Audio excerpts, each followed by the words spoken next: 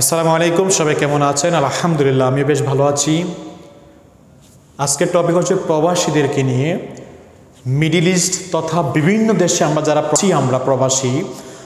অনেক ব্যক্তি আছি দুই বছর, তিন বছর, এবং এর মধ্যে অনেক ব্যক্তি অলরেডি দশ বছর, পনেরো বছর, বিশ বছর অলরেডি হয়ে গেছে। কিন্তু আমি যে বিষয়গুলো এখন বলব, এগুলো কোনো আর্টিফিশিয়াল কথা না। একটু বিষয়টা মনোযোগ দিয়ে দেওয়ার, শোনার চেষ্টা করুন। আপনার আশেপাশে এমনও অনেক ব্যক্তি আছে যার কিনা অলরেডি দশ বছর হয়ে গেছে, বিশ বছর অলরেডি হয়ে গেছে। কিন্তু তার যে ইনকাম লেভেল দশ বছর আগে যেই পরিমাণ ইনকাম লেভেল ছিল, হয়তো এর থেকে বাংলা দশ থেকে পনেরো হাজার টাকা একটু বাড়ছে। হয়তো তিরিশ হাজার টাকা হতে পারে বাংলা হাইস্ট পঞ্চাশ হাজার টাকা। মিডিল ইস্টে যারা আছেন, পঞ্চাশ হাজার টাকার বেতনে চাকরি করে অনেক ব্যক্তি। হয়তো এর উপরে খুবই কম, খুব কম, কিন্তু নিচে সবচেয়ে বেশি।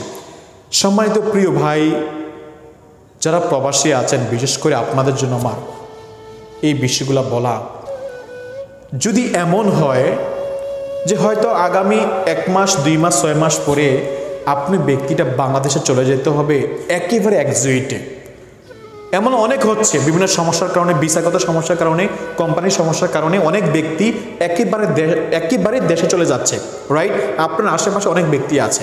দেখেন, একজন প্রবাসী পনেরো বছর প্রবাসী থাকার পর যখন সে বাংলাদেশে যায়, একেবারে ফাইনালি যাওয়ার পরে প্রথম দুই এক মাস সে খুব ভালো চলে। কিছু টাকা নিয়ে যায় কোম্পানি থেকে কিছু টাকা পায়, সেই দুই তিন মাস খুব ভালো চলে। কিন্তু তার পরবর্তী সময় যখন সে এই পনেরো বছর কত টাকা সে ইনকাম করে তার পরিবারকে দিয়েছে ninety ninety percent ninety nine percent ব্যক্তি দেশে যাওয়ার পরে এই পনেরো বছরের হিসাব সে আর পায় না। যে এত বছর কাজ করে কোথায় আমি টাকা দিয়েছি? যখন তার পরিবারকে জিজ্ঞেস করে, আমার টাকাগুলো কোথায়? রিপ্লাই আসবে, তোমার পরিবারের খরচ দিয়েছি ভাই বোনের খরচ, আমাদের খরচ সব কিছু মিলেই সমান সমান। এখন আমার প্রশ্ন হচ্ছে, আপনি ব্যক্তিরা যে পনেরো বছর ২০ বছর, দশ বছর প্রবাসে এত কষ্ট করে কাজ করলেন, তাহলে কি এই সমান সমান হওয়ার জন্য খালি পরিবার চলছে, আপনি নিজে চলছেন?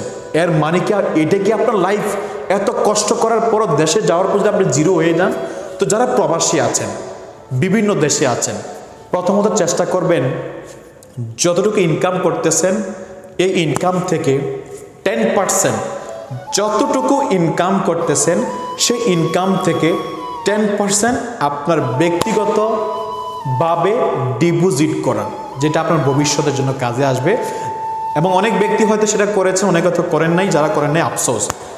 দ্বিতীয়ত কথা হচ্ছে, দেশে যাওয়ার পরে যেহেতু আপনি জিরো হয়ে যাচ্ছেন, আমি বলব, আপনার জন্য বেস্ট একটা অপশন হচ্ছে ডিএক্সএন অলরেডি আমাদের হাজার হাজার প্রবাসীর লাইফ পরিবর্তন হয়েছে ডিএক্সএনের মাধ্যমে।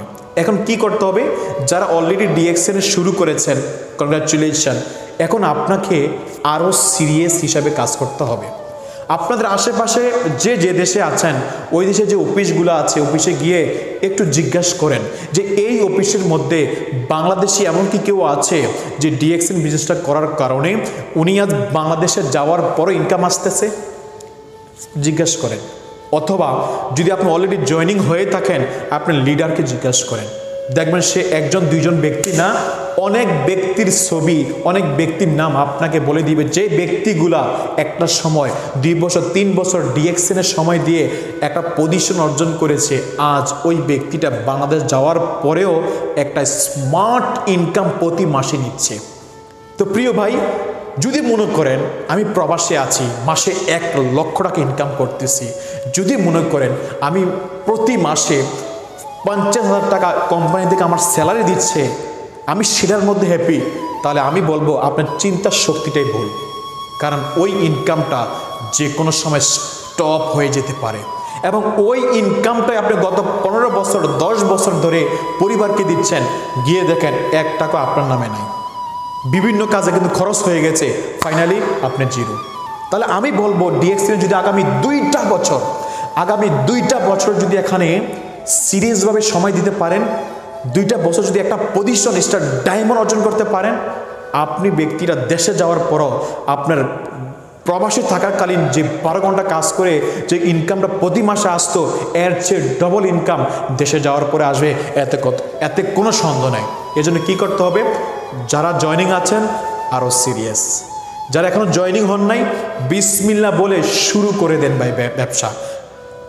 যে কোনো একটা লিডার সাথে যোগাযোগ করে ব্যবসা চালু করে দেন, ইনশাল্লাহ ভালো কিছু হবে। ধন্যবাদ সবাইকে, ভালো থাকবেন, আসসালামু আলাইকুম।